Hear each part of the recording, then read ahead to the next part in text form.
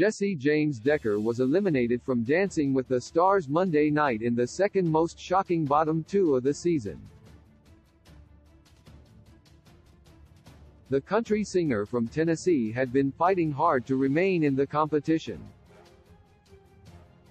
After giving it her all on the dance floor, Jessie, along with her pro partner Alan Bersten, found herself in the bottom two alongside Trevor Donovan and his partner Emma Slater.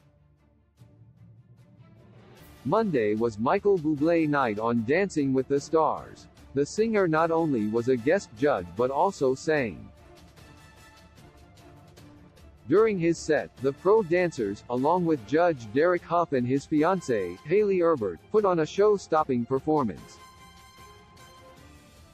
The couples also performed to some of Michael's classic songs. But the fun quickly came to an end when it was time for yet another live elimination.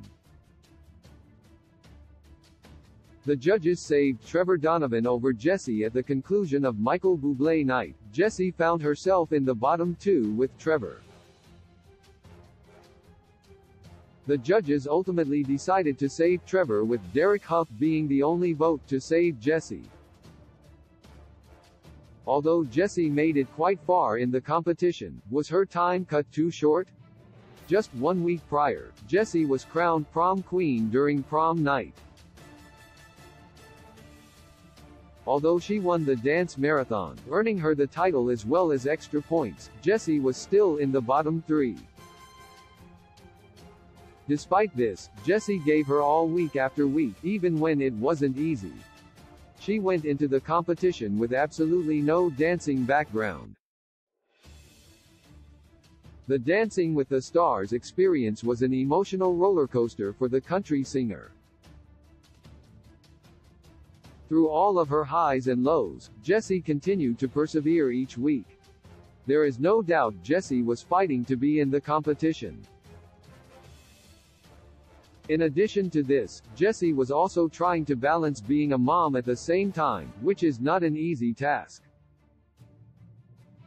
She is not the first shocking elimination of the season.